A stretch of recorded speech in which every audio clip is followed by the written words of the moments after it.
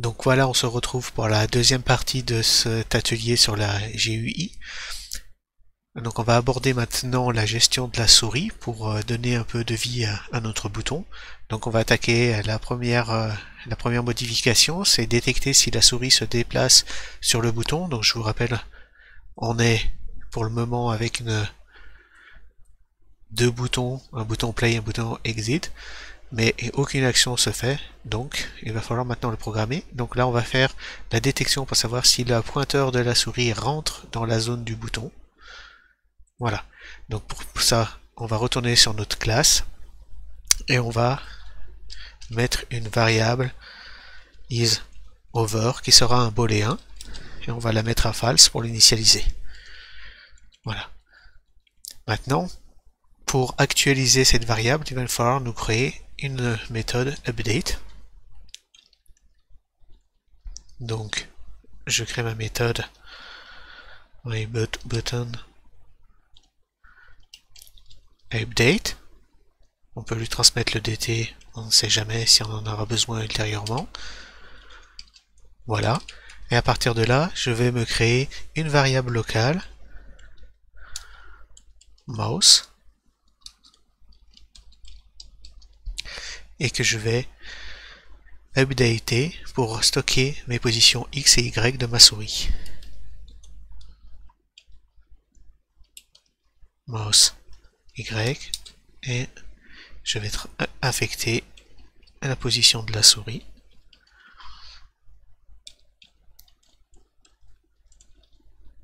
Get position. Voilà. Donc maintenant, mon update est, fait. Il faut que je retourne dans mon main pour dire à Love d'updater ma méthode. Donc on va récupérer la même boucle pour le draw. Seulement ici, on va faire l'update. LDT. Voilà. Moi ce que je fais, j'aime bien laisser une trace. Donc on peut aller sur notre classe, juste le temps de voir si notre code est correct et je laisse une trace je vais afficher mouse.x et mouse y. On va exécuter. J'ai oublié le E. Donc là on voit bien que notre souris est bien updatée. Impeccable. Donc je n'ai plus besoin de ça. Maintenant, on va actualiser notre variable isHover. Donc pour ça, on va faire un, test pour savoir si notre bouton rentre est à l'intérieur de notre boîte. Pour ça, on va updater notre volet 1.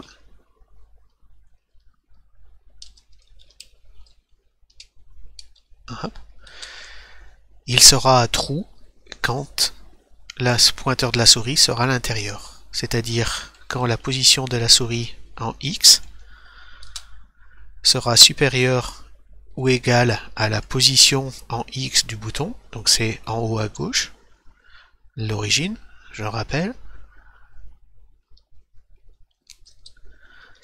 et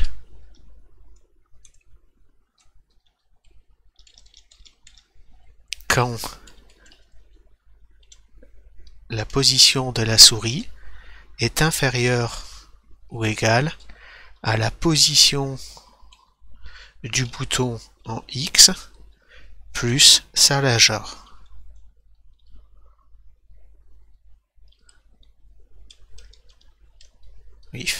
Donc ça, on a fait pour l'axe horizontal. On refait la même chose pour l'axe vertical.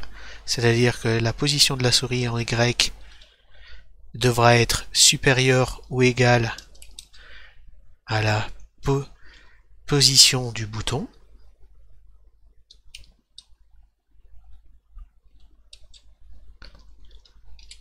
Et la position en Y de la souris doit être inférieure ou égale à la position y, c'est-à-dire le haut ici, plus sa hauteur, pour arriver là.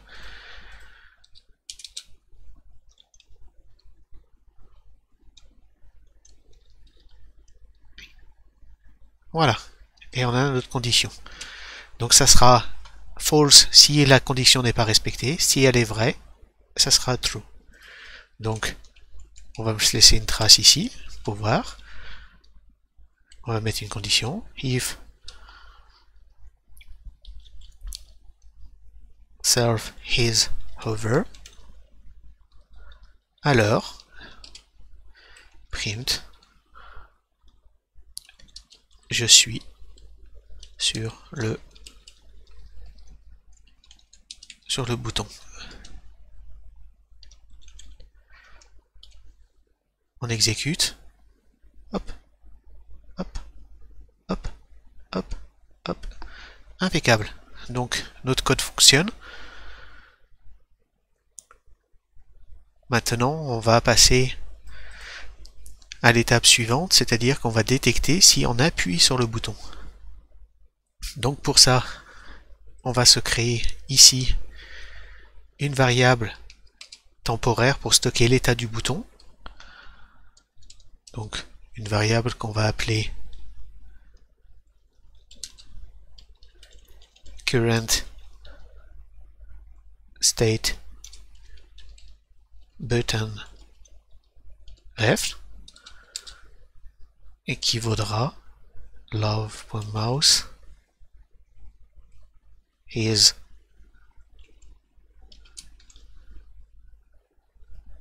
is down. Voilà. Donc, si j'appuie sur le... Décidément, j'oublie le. Si j'appuie sur... Si sur le bouton de gauche, ma variable sera à. Voilà. Et maintenant, je vais me créer tout en, tout en bas de ma fonction une variable qui va stocker l'ancien état courant. Donc,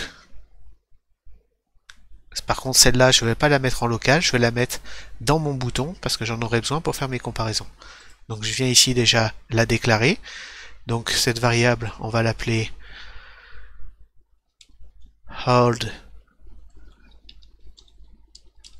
state button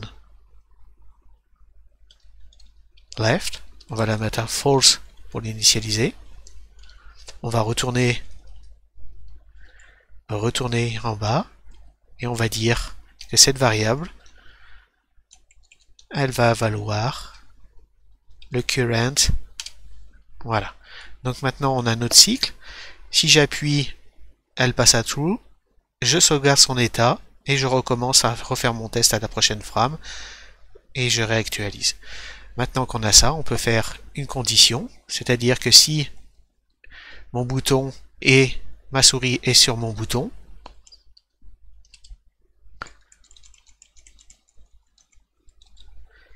et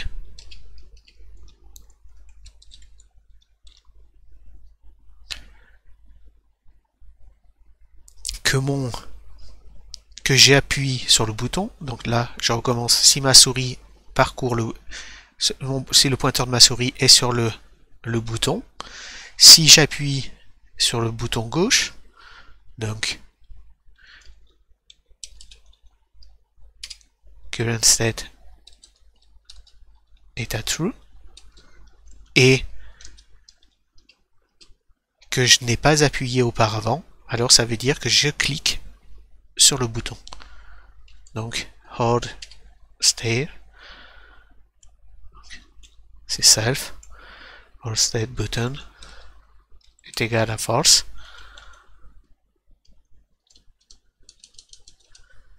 Alors, je modifie ma phrase, j'appuie sur le bouton. Et ici, je me suis trompé, j'ai appuyé le self. Voilà. Donc maintenant, on a, notre système qui est fonctionnel normalement, on vérifie. Voilà. Donc là, je vais cliquer.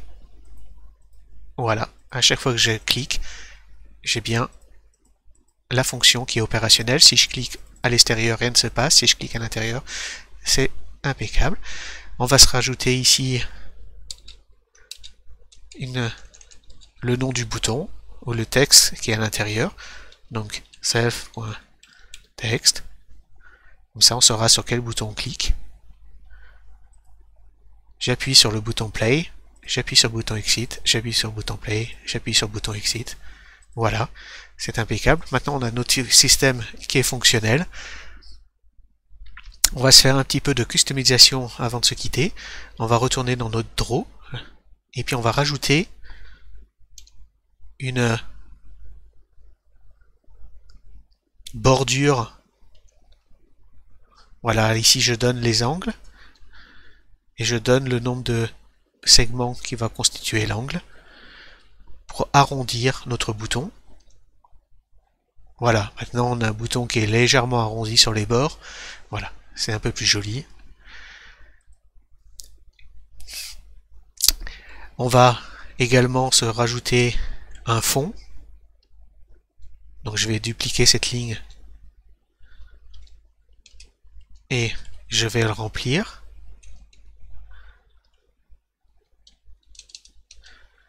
Voilà. Donc si j'exécute, ça va nous faire un gros carré blanc. Voilà. Donc il va falloir attribuer une couleur à chaque élément, une couleur pour la bordure, une couleur pour le, le texte et une couleur pour le fond. Donc je retourne ici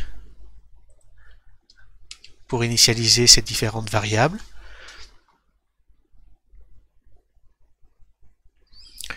On va déclarer la couleur pour le texte qui sera égal à un paramètre couleur si on veut le transférer donc color, ou si je ne transfère rien, je vais lui fixer d'office une couleur qui sera la couleur du texte qu'on va mettre en noir et zéro de transparence. On va refaire la même chose pour euh, le background.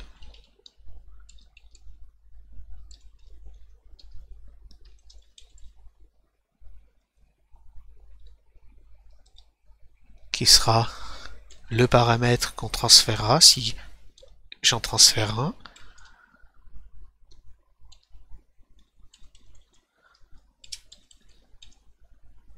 Ou alors, je fixerai moi-même la couleur.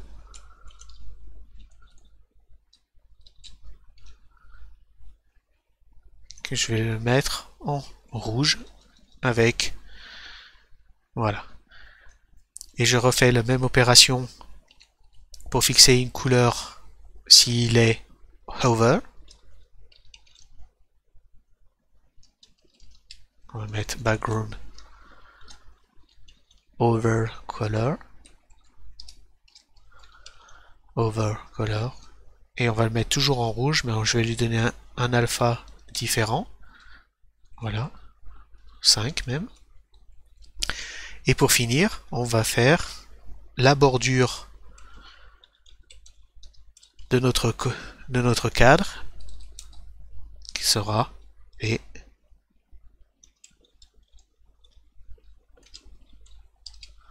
border color ou alors je vais le fixer en blanc. Voilà, donc on a fixé nos couleurs. Maintenant, il va falloir les attribuer à, à chaque élément. Donc pour ça, avant de dessiner l'élément, je lui désigne sa couleur.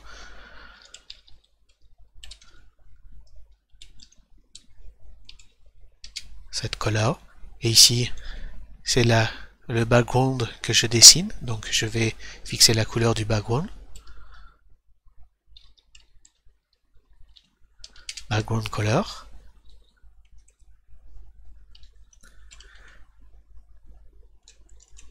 Je fais pareil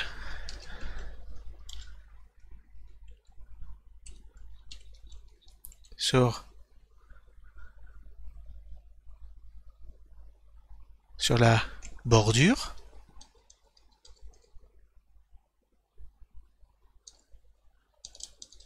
Donc là, ça sera border color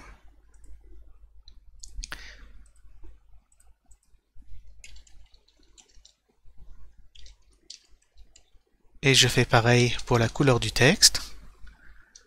Voilà. Donc là, normalement, voilà, j'ai mes boutons qui sont opérationnels avec des couleurs. Maintenant, il va falloir mettre un système de conditions pour dire je vais dessiner mon fond d'une certaine couleur ou d'une autre en fonction de si mon bouton est over ou pas.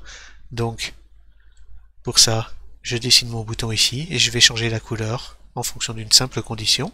Donc if is if self is over. Si mon bouton est over, alors je vais dessiner la couleur over et sinon je vais dessiner la couleur normale. Je fais une copie de ça, je le colle et je dis que ce sera le background hover s'il est over. Voilà. Je relance. Je passe ma souris. L'état de mon bouton change bien. Là, il me signale que mon pointeur est bien sur le bouton. Pareil sur l'autre. Si je clique, j'ai play. Et voilà. Donc maintenant, on a notre système qui est opérationnel avec un petit peu de customisation. Dans le prochain atelier, on va se retrouver pour euh, mettre des événements sur le bouton. Là ici, j'ai bien une fonction, une, une fonction qui s'exécute, c'est-à-dire que j'affiche mon bouton play dans ma console, mais on va faire quelque chose de plus évolué, on va passer en paramètre une fonction à exécuter qui sera lancée si on appuie sur le clic. Donc on se retrouve pour la prochaine vidéo.